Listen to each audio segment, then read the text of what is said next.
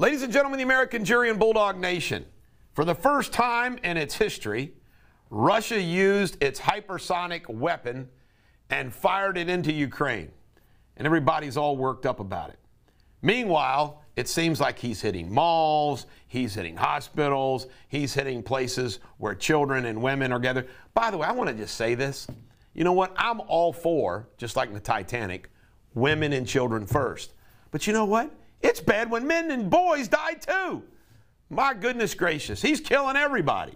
It's all terrible. Word in the, there's a report out that the European Union members, France, Germany, and some others, sold arms to Russia before the Ukrainian invasion. That's whacked if it's true. Meanwhile, Russians are all panic buying. Can you imagine if you are a citizen of Russia you're getting everything cut off, everything's being restricted. I mean, it must be hell right now to be a Russian citizen, even worse to be a Ukrainian citizen. But the Russian citizens are having a tough time too. It looks like Belarus is getting ready to invade, according to Ukraine, the Ukraine country as well, to help out Russia. We'll see if that happens or not. Putin held a big old rally in Moscow. you know, can you imagine him gathering up? You will go to this stadium, you will go to this rally, or you will be shot. Scary. Sad news four Marines passed away in Norway in a military exercise with an Osprey helicopter. Very, very, very, very sad. Training Ukrainians.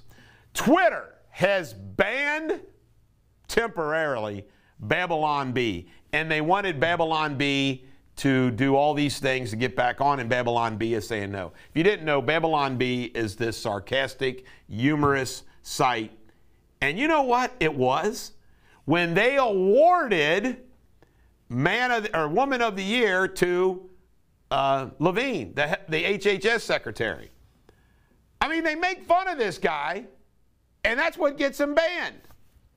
Georgia and Maryland have suspended the gas tax. I think that maybe it's time to suspend the gas tax in Kentucky, and I call on Governor Beshear to do so. Remember, I said the next thing that's going to come out of Washington was they're going to want some kind of a bailout of Americans for the gasoline price? Well, apparently the White House did kick around the idea of giving Americans gas cards. See, I told you. I called it way before it happened. See, so many commentators just comment about what happened, and I do that too. But so few predict the future, like I do. I'm a regular Kreskin. Uh, Black Rifle Coffee is skyrocketing.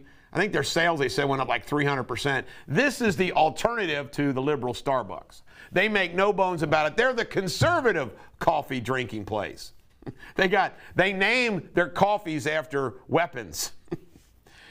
China China has militarized three South China Sea bases. By the way, who let all that go down? Obama. Obama. It's messed up, man. Uh, Clarence Thomas is sick, but good news is apparently he just has the flu and he's in the hospital. He's doing better and he'll be out soon. He's only 73 years old. I don't think Clarence Thomas is going any place anytime soon. Uh, meanwhile, the whole world's collapsing around us. Biden took a bike ride in Delaware with his helmet on. You know what? Obama used to do that too. You know, of course, Biden probably needs a helmet because he really might fall off this freaking bike.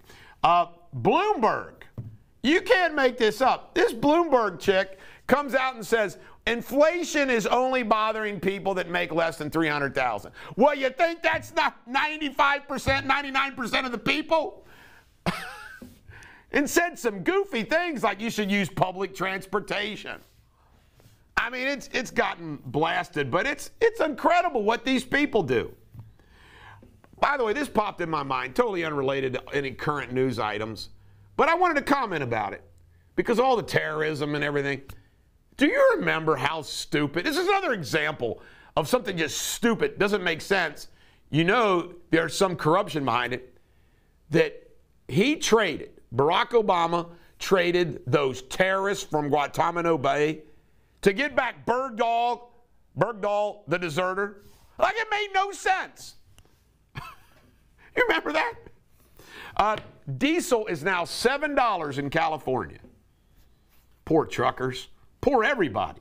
You about Kid Rock? Kid Rock has an interview with Tucker Carlson. Well, he says F them all because he doesn't give an F. And, you know, he doesn't care about being canceled. They can't cancel him, so forth and so on. You got to love Kid Rock's fight.